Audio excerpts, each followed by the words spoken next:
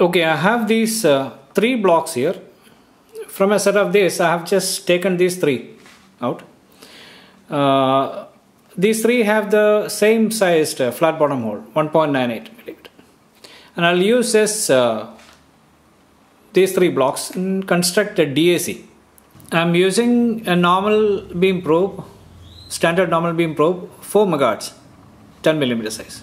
I have uh, the signal from uh, a flat bottom hole of 1.9 millimeter here. Uh, currently with a range of 100 millimeter. And uh, as you can see the beam path is 19.4 millimeter.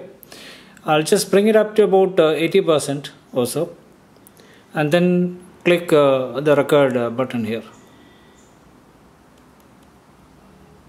That's a record button. So the first point is actually recorded. I'll move on to the next point here. This is the second one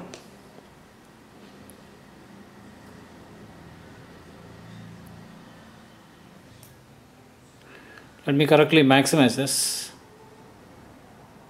That's right. So this is the signal. And I'll record this.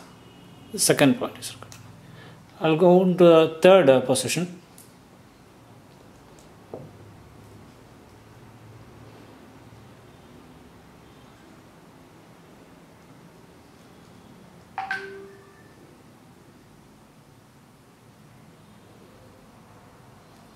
okay this generates uh, so much of amplitude only. And I'll record this also. So I have a DAC record so I have uh, something like uh, uh 6 dB less 50% DAC here and also 12 dB less. Uh, this uh, third DAC also is shown. So you also have a plus 6 and a plus 12 dB DAC is constructed. Okay now this scale, uh, this range can be now changed if you want uh, to measure anything else. Uh, you can also uh, change uh, amplitude. For example, now if I uh, place it on a similar block having 3.17 millimeter flat bottom hole, as you can see here, this is 3.17 millimeter. So if I place it on this, this generates a signal height that's uh, above or it crosses our DAC line here. As you can see here, this is on this block. This produces uh, much higher amplitude.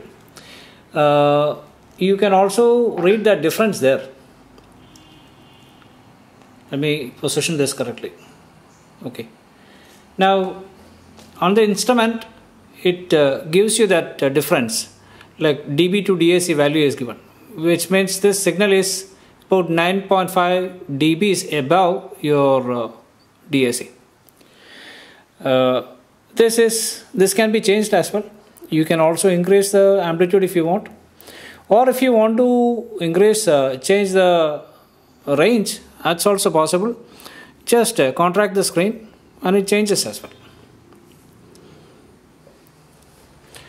It is uh, very simple to use. The, the settings can be saved in the instrument as a setup file. It can be easily recalled as well. Uh, you also have an option to print if you want.